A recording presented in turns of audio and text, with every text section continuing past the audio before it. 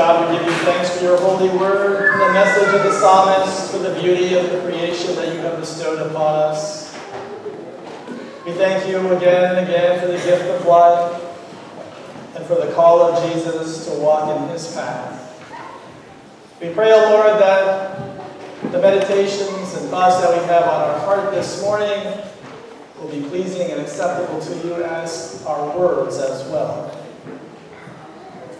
Be with us today, and always as you promised, we await your accompaniment.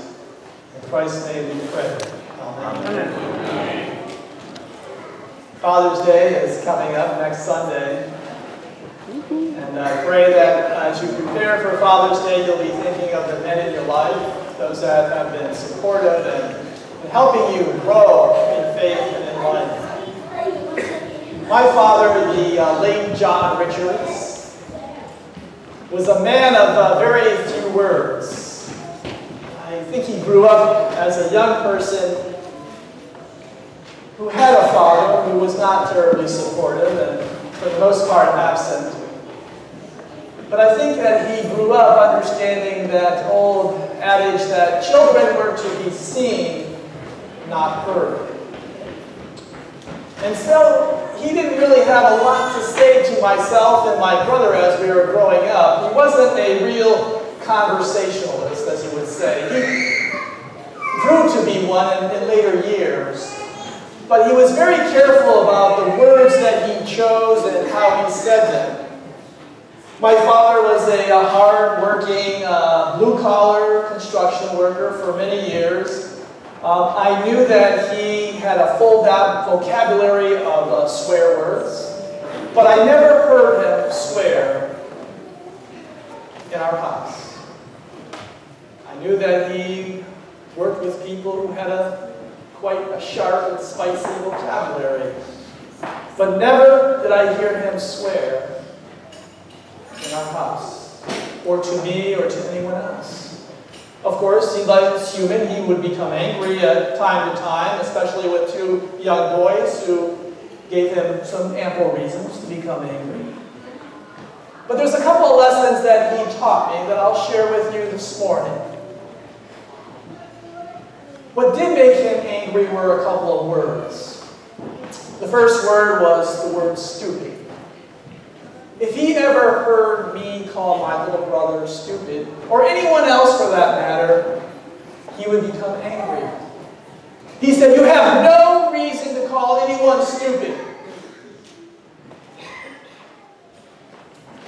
There may be stupid ideas or stupid other things, but people are not stupid. Every person has their value. Put that into my mind. Have I always been faithful to that? Of course, I already admitted that my brother was called stupid many times, and he called me stupid back. And if my father heard it, we did pay for it. But there's another word that I want you to think about with me this morning, and it's the word can't. Cannot. Can't. My father refused to hear the word cannot or can't come out of our mouths. For whatever reason it was. If we ever said, well, I, I can't do that. I said, what do you mean you can't do that? There's no such word, he would say, as can't. Of course, there is a word, can't. But he would not let us use it in front of him. If I came home with a less than uh, a good report card, and I did, with mathematics. I was not uh, one who loved math, and if I came home with a D in math, he would say, you can do a lot better. I know you can. And if I'd say, I can't do any better, I would spend the next few weekends in my room doing math instead of going outside and play. He would not tolerate that if he came in from shoveling the driveway, my brother and I, and it was like three feet, one of those northeasters, and it was, we can't finish. He'd say, get back out there. There's no such thing as can't. You can finish. I think he really believed that the word was restrictive in its own, and that if, if a young person, if children adopted that word as a, a regular part of their vocabulary, that they would start to believe, they would start to doubt in their possibilities, their opportunities to grow and to flourish in life because can't can be a real damp cloth on, on, on someone's desire to do better and do if they really buy into that power of doubt. And so I'm really thankful today that my father taught me that lesson. I have used the word can't since then, but he did teach me by that lesson of not using that word that I could be a stick-to-it person, that I could approach difficult situations in my life and the lives of others, and, and that I could, I could stand firm and, and not doubt my ability to overcome challenges, whether they were big or small, by simply putting that word into the back bins of my vocabulary tool. I really believe that my father had a keen understanding of the power of doubt to limit any person's ability to be what God intended them to be. You know, the resurrected Jesus and the earthly Jesus had to deal with a lot of doubters.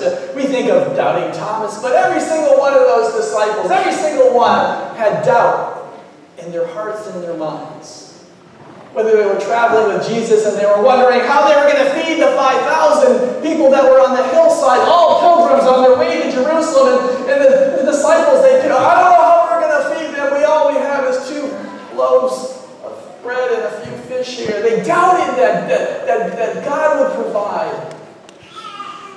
They were all filled with doubt at one time or another. And you remember Peter uh, being called by Jesus. Jesus is out on the water, and Peter stands up in that boat, and, and Jesus says, Come on out, come on out, come. He extends his hand to, to Peter, and, and Peter there shaking in, in the boat, wondering if he could step out of the boat onto the water. He doubted. He doubted. And what happened when he doubted?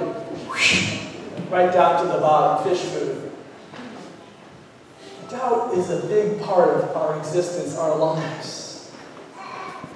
And so this morning we hear in those final words of the Gospel of Matthew that, that, that Jesus gave instructions to his disciples. There's 11 left. The apostles, after the death and resurrection of Jesus, 11 of them find their way. They didn't doubt the call of Jesus or the instructions to go to that high mountain in Galilee. And maybe it was because they knew that, that great things happen on top of mountains. So they went to the top of the mountain, and there Jesus appeared to them.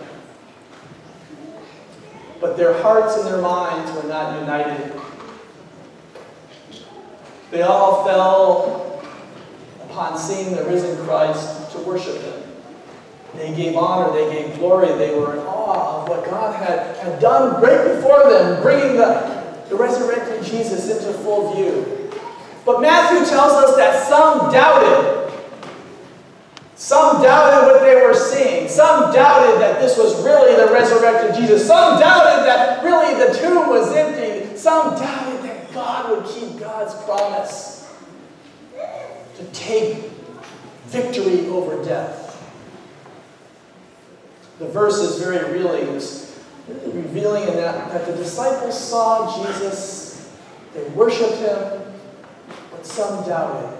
And so some were in full worship mode. They were praising God and thanking God for what they were experiencing. Others were kind of just going through the motions. They knew what to do. They got to follow the other. But their hearts and their minds were not there yet. I believe this verse was placed in the last verses of the Gospel of Matthew to tell us about the reality, the truth of discipleship. Because if you're a follower of Jesus, you're not going to be any different. We're not going to be any different than those same 11 that were following Jesus after his death and resurrection. Because we live in a world that causes us to day in and day out, even moment to moment, to doubt what's going to happen next or how things are going to turn out. And so these disciples, they lived in a, a, different world, but they were human just as we are, and they, and they doubted what they saw and what they believed. And so this verse means something, as short as it is. It means something for us to, to take into our own minds and hearts the reality that we have to wrestle with doubt. That is a truth. There are events and situations in the world, just as the disciples of the risen Christ had to uh, deal with at that particular moment, just as the struggle they had with the power of doubt, we have to do with the same struggle. We have to deal with doubt. And so, what do we do? As Christians, we turn to Christ to seek help with our disbelief. We turn to prayer, we turn to Scripture, we, we find elements of our faith that will help us to wrestle with doubt. Because if you don't wrestle with doubt, it will claim victory over you. And where would we be as individual disciples in the church if doubt claims victory over us? The powers that want to separate God's people from the love of God applaud and encourage the power of doubt. Because those forces that want to see division and hate and the lack of possibility and opportunity for the church want to say you can't do that. Why would you bother doing that? It's only going to lead to discouragement. It's going to cost you money. It's going to be this. It's going to be that. Why even bother? I doubt anything will ever happen in that church or with that whole business of studying the Bible or praying. I doubt that God would do that for you those voices in the world are real. And so I believe that this verse was placed in the story because there was those forces at the very, very time of, the, of that appearance of the risen Christ that were trying to push back on the disciples to get them to scatter to the, of Galilee, to give up on the movement called the church. And so Jesus reveals to us in these few words from Matthew that he, that Jesus understands the power of doubt and that his disciples will have to wrestle with it. He knew from the very beginning of his ministry that, that he would have to wrestle with doubt with his disciples. And Peter, that chief doubter, over and over there are stories of Peter just refusing to just wholeheartedly believe, but only to lift up the power of doubt. Maybe you'll agree with me. Doubt, for me, maybe for you, is most powerful when you're alone. You ever have a conversation with doubt? Huh? Doubt is pretty articulate. Doubt has a long list, maybe even an encyclopedia of reasons why you can't do certain things or why you should do certain things. Right? When you start thinking about life changes or important parts of your life or, or things that are going on in your life, I would not hesitate to guess that doubt raises his or her hand first. I got a reason. I got a reason why you can't do that. And sometimes doubt comes from the voices of others. Doubt is powerful. It is so powerful when we're alone, when we're deep in our hearts and our minds trying to make important decisions or, or witness to, to something that's so important to our lives that, that, that we come up with these reasons why we shouldn't do it. It's the voice that oftentimes speaks the loudest. It wants to take up command of the conversation. And my father's unmanageable word, can't, sounds off. You can't. We can't. And then I start hearing myself when I'm alone and the conversation with doubt is carrying on. I, I all of a sudden, I'm repeating, I'm chanting with doubt. Oh, I can't, I can't, we can't, they can't, who can't, whoever can't. And all of a sudden, I'm singing the songs of doubt instead of singing the songs of praise and thanksgiving to God for the opportunity to accept the challenge and to go into my faith. Now, of course, now, of course, there are circumstances in life that doubt may be a reasonable response.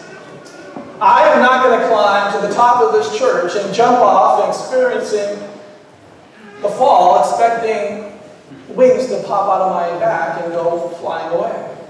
I doubt that I can fly off the top of this building. That's reasonable, right? Matter of fact, that's just plain silly. We're not talking about that. We're talking about the doubt that gets into our hearts that interferes with the path that God wants us to be on.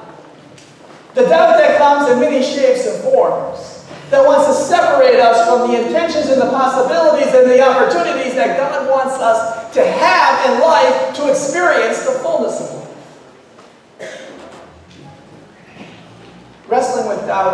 disciple of Jesus Christ, you see, is a tag team. No one can do it alone. That's why I caution you when you're feeling like you're, you're in this deep conversation with doubt because you're, you're alone in that conversation. I call to you to reach out, to call for some help, to get into that wrestling match with a tag team. If you're, if you're familiar with wrestling uh, on, on TV, back when I used to watch it a million years ago, there'd, there'd be this thing where one, one wrestler would go to the other and he'd touch the hand of another wrestler, and that, that wrestler would come out and there'd be a, a fresh wrestler and they go at it, a tag team. I'm saying to you, when doubt is on your back, and you feel like doubt's going to throw you down to the mat, I say reach out your hand for a tag team. To the one who can claim victory over doubt. You know who I'm talking about. Who am I talking about? Jesus. Reach out because he promised you, he promised me, he promised the church, I will never, ever leave you alone. So in doubt, in pain, in suffering, in recovery, in poverty, in wealth, in sickness, and in death, Jesus said, I will not leave you alone. Reach out and touch me.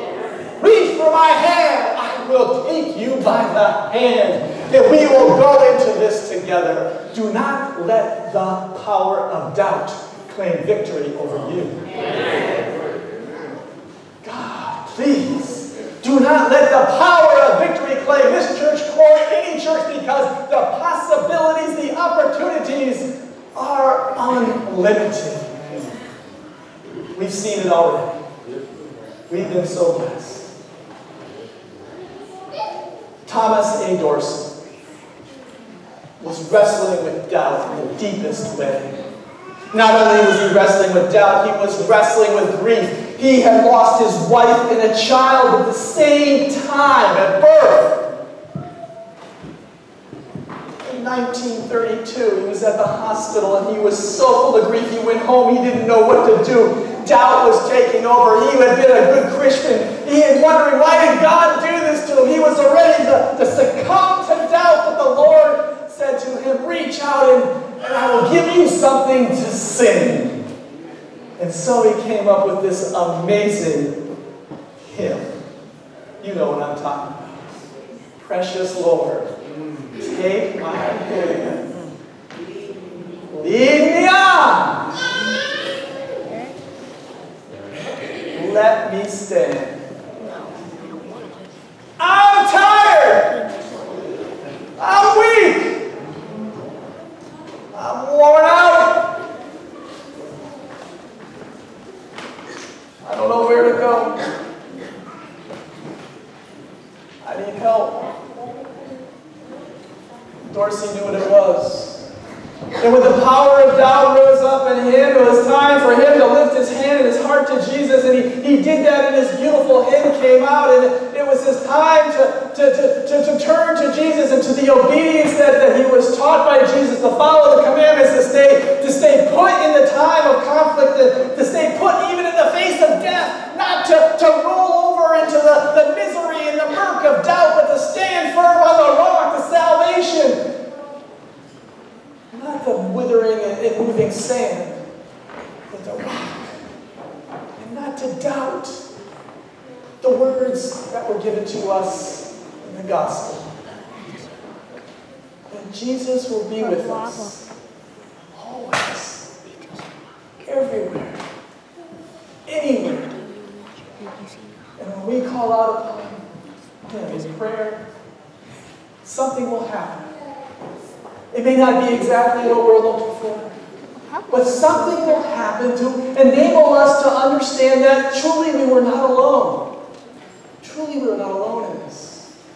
It could be a quiet voice. It could be a, a calm, cool breeze. It could be the beauty of creation, the sign of a bird. Who knows what it could be, but somehow God will get word to us, get experience to us, get an image to us that, that we are not alone. See, we are not created to be alone. Created to be in relationship with God and God in Christ and with one another.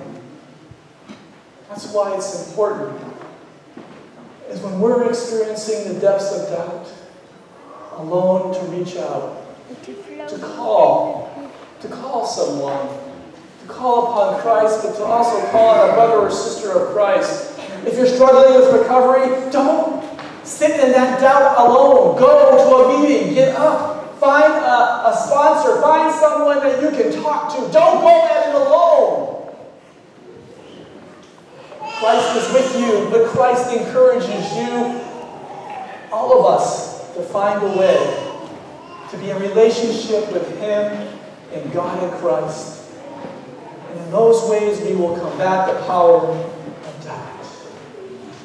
And then Dorsey goes on and says, in his beautiful hymn, through the storm, through the night, lead me on to the light. Take my hand, precious Lord, lead me home. Lead me home. Out of the doubt, out of the clouds of discouragement, out of the pain of grief, disappointment, whatever it may be, I pray that you will extend your hands, your heart to God in Christ and to others, and to always remember that we do not go or ever were intended to live in this life alone, but to seek the unity and love of Christ, in whose name we read the scripture and we preach and we listen. Amen.